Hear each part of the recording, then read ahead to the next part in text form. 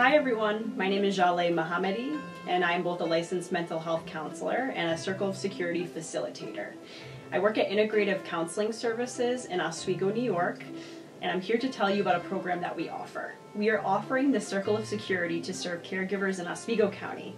The Circle of Security, or the COS, it's a program that is evidence based and it's an intervention and prevention program, which means it works.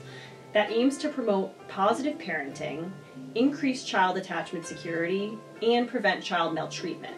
It is one of the most widely used and successful parenting interventions and is used around the world. I'm proud and excited to say that we held our first successful group in Oswego in 2016.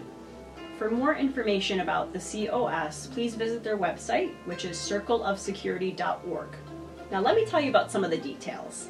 The program is eight weeks long and meets once a week for an hour and a half. We will offer one male and one female caregiver group, and this is open to biological parents, adoptive parents, foster parents, grandparents, and any other caregivers. We also offer participants child care service, refreshments, gift certificates, and certificates of completion. Past participants have actually said one of their most favorite parts of the group was being able to have a safe and supportive environment each week.